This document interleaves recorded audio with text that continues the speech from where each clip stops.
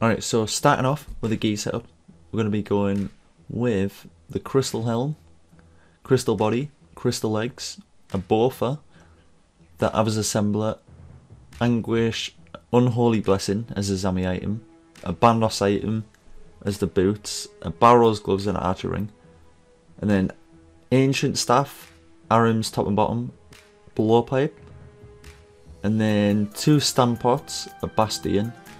You're going to be needing the cannon base, definitely bring that. Four restores, and then you're going to be using a teleport to get here, and a teleport out. And then you're going to be bring, bringing your rune pouch with blood, death, and souls, water runes, bones to peaches, and then yeah, a way to get here, so Trollheim teleport, and then the rest anglerfish. Set up your quick prayers as well to you want to be running in um, you're going to put in melee when you're running, but set it to range and rigor. If not, then bring Eagle Eye. And then your Ancient Staff, if you're using one, definitely set it to auto cast on Blood Barrage, which will be handy. So yeah, when we go in, when we run in, we're going to be starting off. We're going to run over to this orange tile, place the cannon down, and then we're going to be running to where it says start, and you're going to hit the boss here and then you're going to run over to this tile. This is going to be the first tile you're going to hit him on as well. And then you're going to be running to this one here. And then this one on the right, you're going to be running there after. Then back down here. And then over to this one. And then the tile in the corner. And then you're going to red click on the cannon, same as the Zammy guide. And then it should drag it to that tile. And then you're going to be running to the left over here. And then back to the start and that is the full cycle so that is the way you're going to be running. And then back to that tile. Over there that one there there and then right click and then it'll bring you back to there and then just carry on running that way. You shouldn't have to do too many rotations because you will kill the boss rather quick especially hitting it nine times and not getting hit. So when you're ready we're going to stamp it up. We're going to pray melee and rigor if you want to put Eagle Eye and Steel Skin, that works too. So starting off running, we're going to be running straight at that tile for the cannon. And then drop the cannon base down. And then ASAP, as soon as you can, run here and hit, run to this tile. And then you're going to carry on the cycle and just keep running. So as soon as you hit, you're going to run to the next tile pretty much straight away. And then that way the buff should pass path like this and then red click on here. Sometimes be careful though because you might accidentally misclick on that major there and then yeah you'll probably get hit by the boss but as you can see here the boss is not hitting us and you're just going to keep running like this. You will kill it a lot quicker than doing the 6 to 0 guide which there is a guide on that as well. But yeah so then red click, run through it hit it when you get to that tile and as you can see we've only done three rotations and the boss is basically dead. So what I'm tend to do kill the major first and then you can drag the melee one over next to the ranger and then you can blood barrage them. So the major normally dies quite quick if you're using a Bowfa but try and prayer flick these as best as you can. So once the major's dead prayer range usually run over here. What you can do as well you can freeze this in place the melee but it's totally up to you. Or you can just time them get them off ticked and then uh, just prayer flick them like this. So that is basically the first full kill getting into the room. It's probably going to be the most difficult one just because the boss tends to hit you at the start because you're placing the cannon down. But yeah then once these are dead you are going to run to that start tile and then we will start the next rotation. So these are pretty much dead as you can see also, if you're full health and you're on an Iron Man and you don't want to waste your runes, just put your um, your Bowfa back on or you can use a blowpipe, totally up to you. If you want as well, if your health is low and you don't have a lot of food, definitely pick up the bones and use the bones to peaches. That's kind of what we brought them for, but yeah, you normally tend to get a lot of food anyway from this sort of thing without using much prayer and definitely use the altar if you haven't already. So we're basically going to stand here, wherever the boss, the boss is going to spawn over there.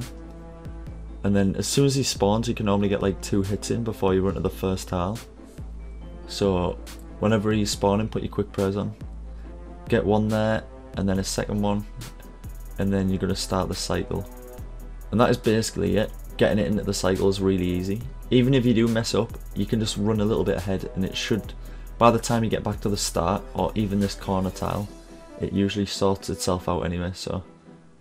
If you want a stam pot as well, it's totally up to you, but if your agility is a little bit higher, you probably won't need to use a stam pot every kill.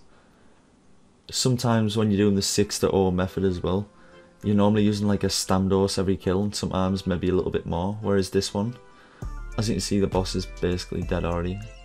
Obviously I messed up there, but got punched right in the face, but there we go, we'll kill the major again. And then that is a first full kill from starting off in the corner. Same again with this one. So when we start, we're going to pray. I'm going to get hit by this, so I'm just going to show you if we mess up. So I'm going to let the boss get close. Alright, maybe not. I thought he was going to hit me. Alright, there we go. So as you can see, hit me there. So I misclicked there again, so he hit me. I'm just going to keep running to the next tiles. If you know he's going to hit you, pray melee. And then run into this corner. Hit him, half back through it and there we go, he's back in the cycle. It's mostly when you get to this starting tile here, wait for him to come close but not close enough to hit you and then start running ahead. And as you can see, you, you do end up missing him the whole time. The light grey tiles, as the same as the last one, you can walk on them and you'll just save a little bit of run energy but you don't really use that much anyway. So, and especially the kills, the kills are a lot quicker so it's kind of not really, probably not too worth it to be honest. But the option's there if you do want to do that. But yeah, come on, die already. There we go. So that is that kill done as well. And we get nothing. Alright, starting off again. I'll give you another preview. So let him get too close, let him hit us. Alright, so he's hit us there. Right, run to these tiles. Hit him again. The next tile. And as you can see, he's already back in the cycle, so yeah, there's not really much that can go wrong. If you do start getting hit, just try and get back to that start tile. As you can see, I try to make him hit me, and then by the time we get back to that first tile, he's already back in the cycle, so it kind of just fixes itself when you just carry on running, just the way he paths, so yeah, it's a lot easier to learn, whereas the Zammy method was kind of like the boss hits like really hard, so but yeah, then when you're ready, pre-arrange again and just carry on running like this. So that is pretty much it for the method. You're just going to be doing this every kill. Come on, die already. And one more. There we go. Should be dead. What you can do as well, as you can see on this one, I left the ranger quite low health. And then that way he's dead and I can just go kill the major and the melee. Alright, so starting again, we're going to hit this one. Get two hits in, and then you're going to start running. And then, as you can see, we've only hit him a few times and he's already half dead, so... It's this important one here, you need to hit the boss on that tile there. If you don't, the boss will end up hitting you, so just make sure you hit him in the corner. And then, once you're back into this, it should be rather easy. I'm not really too sure what the highest kill trip is here that I've done. I think it was like, I don't know, 15, 20 maybe, but I've not really, I only done about 400 kills on the Iron Man, and my energy isn't very good on there, so I'm not too sure how much I can max a trip out. But I kind of need to do the combat achievements, so yeah, I'll probably let you know.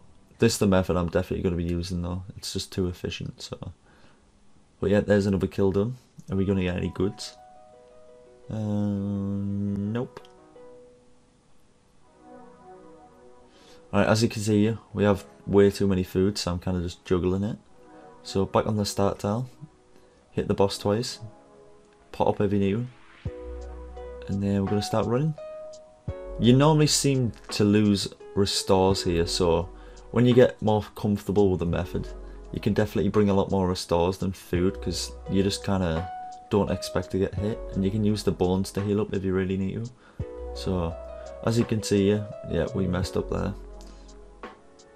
But by the time we get back to here he's already back in the cycle. So just keep running to the next tiles and you should be fine. Right come on hit me. There we go. Right run in the corner. See, on this one, when he gets a little bit close like that, just hit him a little bit early and start running straight away. And then you don't really have to worry about him uh, getting a little bit too close, so... And as you can see, he's pretty much dead. This bowfa hits like really well here as well. Right, there's that kill done. And are we going to get any goods? Right, so, hit him. Right, run over here. Hit him here. Right, I definitely recommend turning your chat off. This kind of why I turn the chat off. yeah, there we go. But as you can see, we're back in the normal cycle, so yeah, it's, it's, it's very easy to sort out if you do mess up. So it's not really much of a uh, a method to learn. It's kind of do a few kills and you should get the hang of it. It's more so the timing of hitting the boss because it is a little bit more fast paced than the the six to zero. But yeah, you know, it's definitely worth doing this one. I'd say it's probably easier in some senses doing the this one than the six to zero. And the as you can see, the minions do hit now and again, but the amount of food we've got, it doesn't really matter. But yeah, that is the whole method. Hopefully this does help anyone who's trying to do it. Best of luck at Bandos, and I will also post a link to the 6 to 0 method if anyone wants to learn that as well. But yeah, that is it for this video. Hopefully you did enjoy and learn something. If you did, feel free to leave a like and a comment. If anyone's got any questions as well, drop them in the comments. I will reply to you all.